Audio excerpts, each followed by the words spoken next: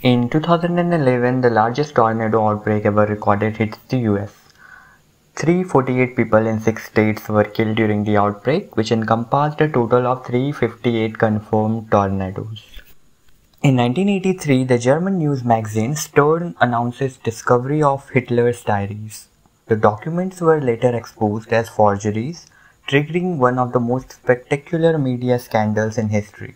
Experts believe that Hitler never kept a diary.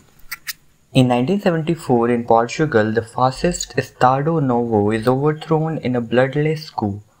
The leftist Carnation Revolution was led by military officers and supported by widespread civil resistance.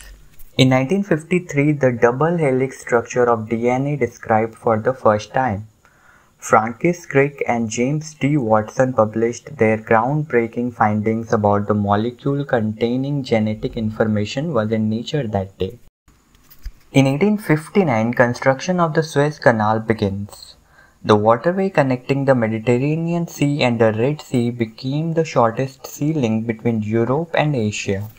Birthdays today Al Pacino, American actor director. C.Y. Twombly, American Italian painter sculptor. Ella Fitzgerald, American singer.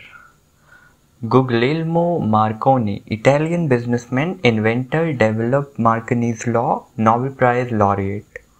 Oliver Cromwell, English general politician.